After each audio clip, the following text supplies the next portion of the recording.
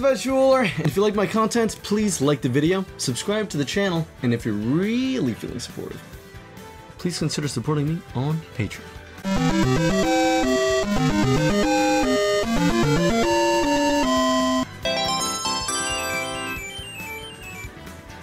How's it going, guys? As you may know, Kazuya Kazuya Kazuya is the newest DLC fighter in Smash Ultimate. My personal opinion on the character, I think is really cool, if he's doing footstool stuff. If he's not, I actually find him very boring, underwhelming, even.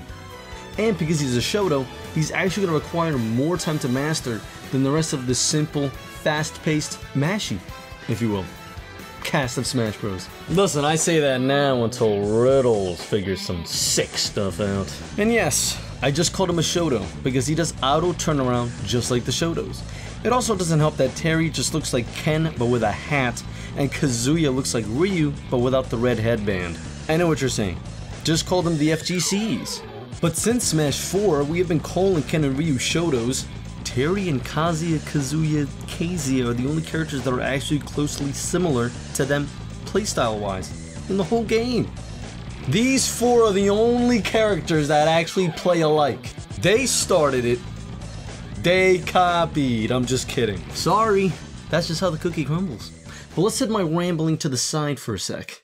I see all over YouTube Smash content creators fighting level 9 Kazuya Kazuya Kazuya for what? Apparently this character does some crazy shit if you're not prepared for it. That's how you're starting? That's how you're starting? Whoa! That's how you're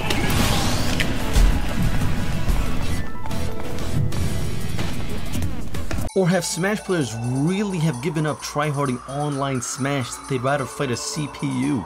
Even though I will never condone giving up, I totally understand if they'd shift over their time to offline practice now that COVID has kinda worn away by now.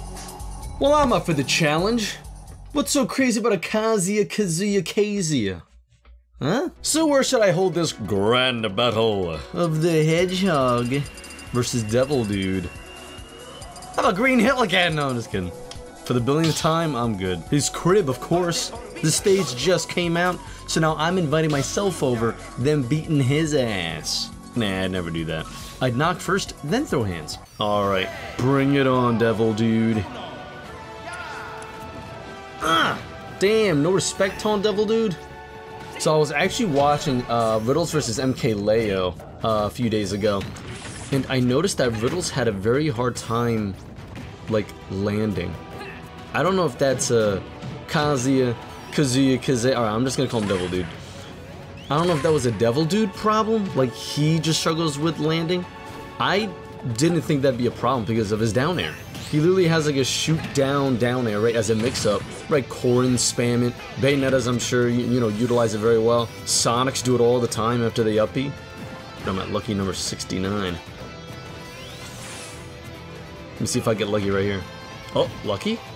Damn, dude, CPUs with their freaking frame one air dodges. Never get hit by anything. If any, if anything, that just like, yeah, that wasn't smart. If anything, that just kind of teaches people to do truer combos and not just you know things that could work on elite. Dude, I'm telling you, like fighting, yeah, he wasn't ready for that. Fighting level nine CPUs is like great. It really is. I, th I think it's such a good practice. I mean, that's how I trained my cousin. Right? And he actually turned out really good at the game. That's a good uppy, I think. Uh-oh. That could have been really bad. Whoa. See, I always thought because of Kazuya's double jump, I also thought that he wasn't gonna have trouble landing. Sure, his first jump sucks, but the second jump actually brings him up so high. He's he almost goes as high as like a Sonic double jump, I think. Simply because of that freaking like the devil jump. That one. Damn it! What that killed? Whoa. That could be bad. You see, like I wasn't ready for that. I honestly just reacted, and the hitbox wasn't in front of him. I'm alive. What? Oh no. Mm. Oh no. GG's. I didn't die to forward throw at 190. Wait, does he not have kill throws? Oh my god, I don't think he has kill throws. Well, I guess we know the counter now. But wait, he has a bunch of like shield breaks, I think. Okay, he really didn't care at all that I was like ready to spin dash.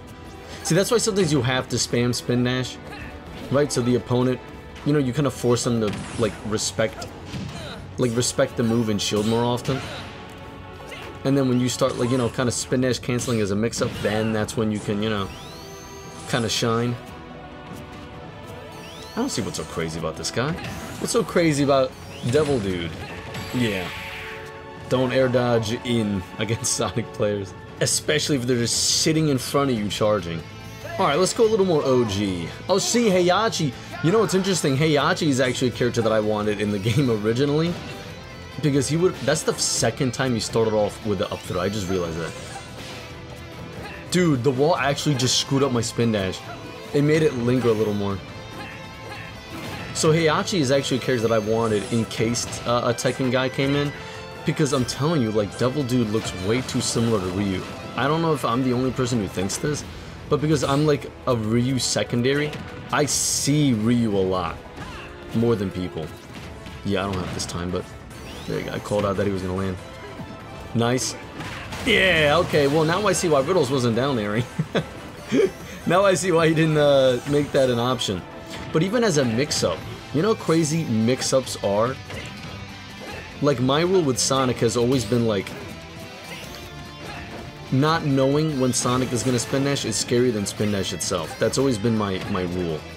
Because like you can always shield spin dash, you can always jump over spin dash, and that simply worked because this stage is ridiculous. I actually really enjoy the stage. I love that you like blast out of the wall. Oh no. Oh my god.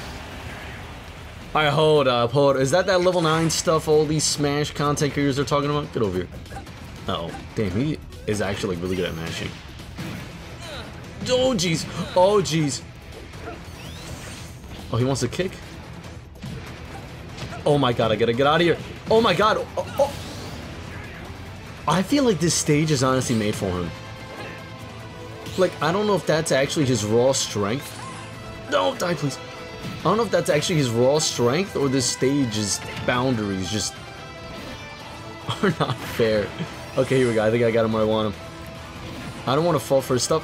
Oh, I should have waited. Wait, did he just... Oh, come on. I do not want to be in that corner. Screw that. We're taking our time here, buddy. If you're not gonna... If you're not gonna come close... Get out. Oh, no. Wait, what? Was that what happened? Oh, shoot. No! Okay, at least I'm center. At least I'm center. Yep. That's where we made the mistake. GG's. Yeah, this stage is actually broken for Sonic. because the freaking left and right walls are so close. Ah, this guy's nothing. Everybody's making Smash content over this guy? Come on now. Ridiculous, dude. That's ridiculous. No matter how powerful a character may be, nothing beats the speed of the hedgehog.